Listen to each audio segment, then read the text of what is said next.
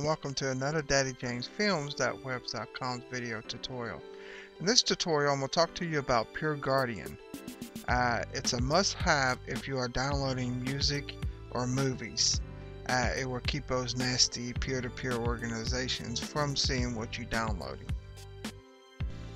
Okay, in this tutorial right here, I'm going to show you about a program called Peer Guardian 2 what is Peer Guardian 2? Peer Guardian 2 is a program which blocks any of these uh, peer-to-peer -peer agencies from looking into your uh, computer and seeing what you have downloaded. This is a program that you should have if you're downloading music, movies, and stuff like that illegally. This will keep all those uh, peer-to-peer -peer agencies from looking to see what you uh, have downloaded. Now to get this program, uh, I have a uh, link over here in the description area. Unless, of course, you know, I've just uploaded this video and I haven't got a chance to put the link in there. But I'm pretty much going to have the link over here. So you click on that link and it's going to take you to Mega Upload. And I went ahead and uploaded the file to Mega Upload. And all you have to do is enter in the letters right here and enter them right here and download the file. Now, if you don't want to do it from here, you can just go to uh, you can go to Google and and um, type in Google Peer Guardian 2. Once you do that, you're going to click on the first link. Now, if you have a Mac operating system, uh, you will need to um, type in Peer Guardian OS X, or you can click right here if you have a Mac. Now, when you're ready, just go ahead and click on here.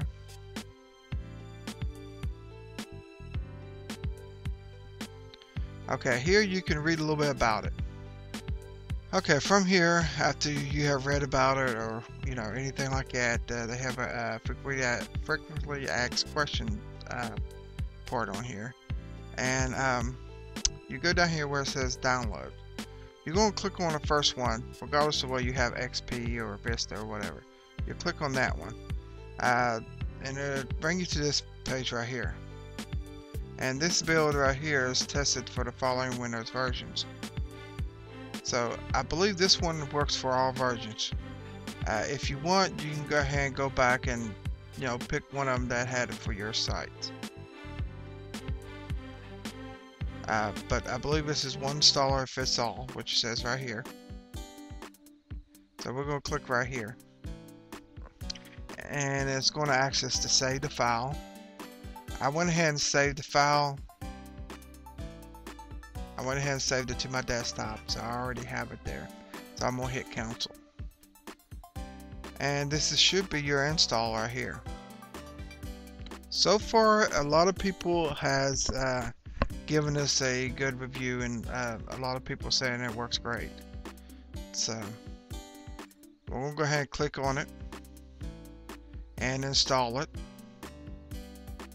Okay, now we're going to come to this uh, window here. We're going to hit next, accept, next, next, next, next. Um, I wanted to start with Windows, so I'm going to go ahead and click right here. I'll go ahead and make a desktop icon and put it on quick launch and install. Doesn't take very long to install. Then it gives you, brings you to this welcome screen. So right here, uh, this wizard will help you customize it, you know, exactly how you want them. I'm kind, I'm new to this as well, so um, uh, I won't be able to ask you a bunch of questions about it uh, because this is new to me. I just found this out uh, a few days ago. This right here is what ranges uh, do you want to block. Uh, I want the peer to uh, peer-to-peer, uh, anti-peer-to-peer uh, organizations. I don't want none of those. Uh, spyware, I don't want no spyware. government, don't want a government. Educational. I'm not sure about that, but I'm going to go ahead and check it. Okay, I'm not sure about that last one. So I'm gonna leave that one uh, unchecked. Again, like I'm saying, I'm kind of new to this program too. Next. Uh, now this part right here is uh, add any custom uh, custom list to you want Peer Guardian to use. Uh, there is a uh, iBlock list um, that you can go to where you can uh, block other uh, IP addresses.